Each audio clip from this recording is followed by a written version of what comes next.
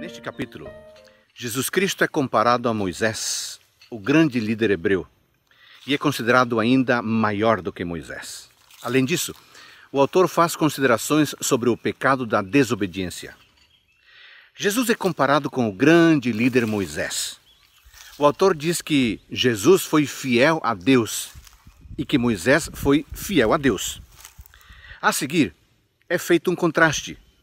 Moisés foi um servo fiel na casa de Deus, enquanto que Jesus é o filho fiel sobre a casa de Deus.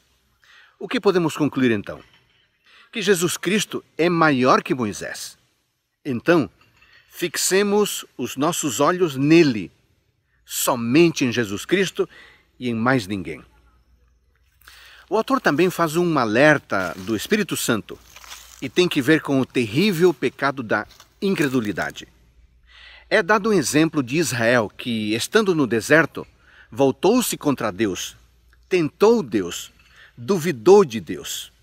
Como consequência, uma geração inteira morreu no deserto, não tendo entrado na terra prometida.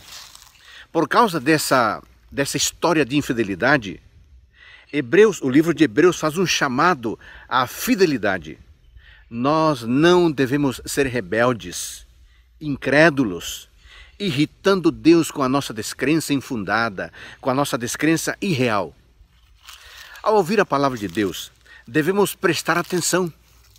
Além disso, amigos, devemos animar uns aos outros diariamente. Desta forma, nos afastaremos da dúvida e fortaleceremos a nossa fé.